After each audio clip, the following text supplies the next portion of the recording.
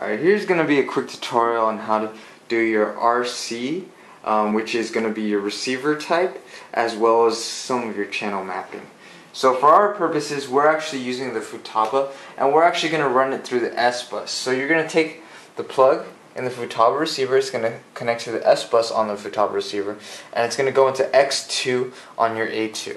So then we're going to go to our screen, we're going to click Basic and RC, we're going to make sure that we have D-Bus selected.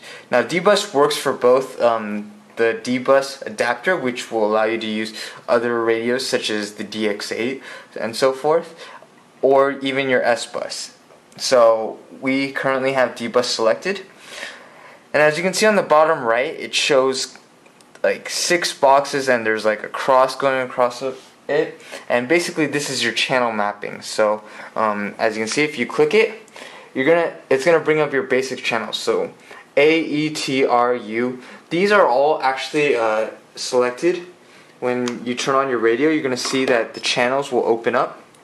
So as you can see, the channels start opening up. You can you can adjust the throttle however you want to do it and you can see everything's moving you want to make sure that everything's done properly so you'll click map and you'll make sure that channel 1 AETR they're all um, they're all set accordingly. So for example, if I move the throttle, T moves.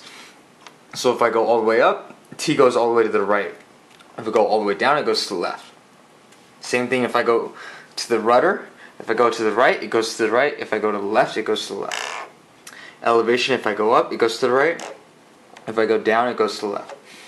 Aileron, if I go right, it goes to the right. If it goes left, it goes left. Um, so if for any reason it's in a reverse direction, um, you can always click reverse if it's doing the wrong control. So for example, if I move this, the A to the left and it's, let's say it's E, you can adjust that by clicking map and adjusting it right here. So you can click it and you you can select the correct channel um, that it's actually moving.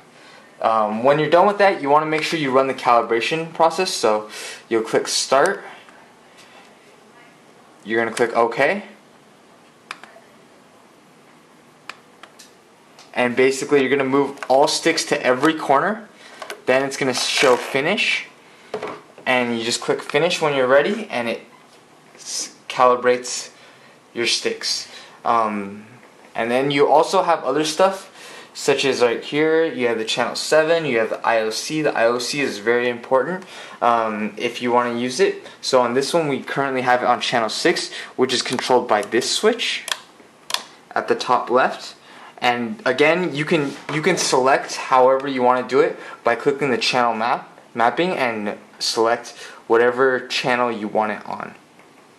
And this is how you set up your channel mapping as well as your receiver type.